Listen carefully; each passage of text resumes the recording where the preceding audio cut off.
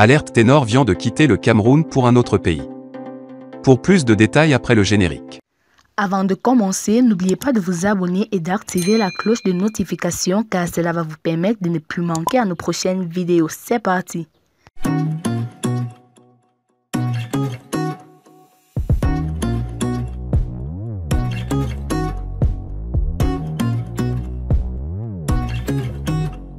Abondamment critiqué après son apparition à la 13e édition de la compétition Canal d'Or le 30 octobre dernier, le musicien ténor vient à nouveau de prendre un vol pour participer à une cérémonie de récompense au Burkina Faso.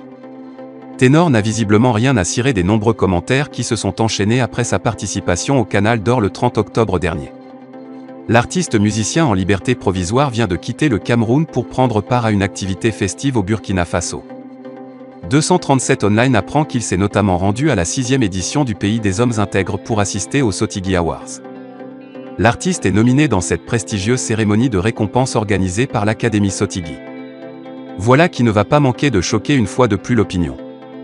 De nombreux leaders d'opinion estiment que Ténor se devait de rester loin des caméras pour une bonne période afin d'honorer la mémoire la jeune Erika Enfia Molium. La vingtenaire avait été tuée dans un accident de la route à bord du véhicule de l'artiste.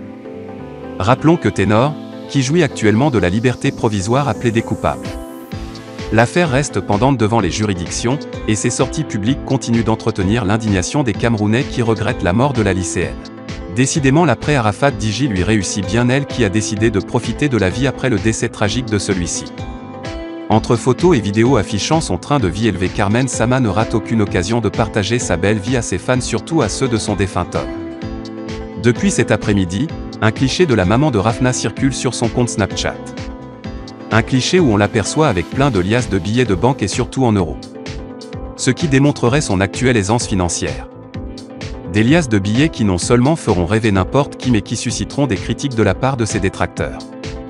Reste à savoir même si sa belle-mère Tina Glamour ne commentera pas cette photo ce Carmen Sama avec qui elle n'est plus en odeur de sainteté. Carmen Sama est la toute dernière femme qui a partagé la vie du célèbre Diji Arafat.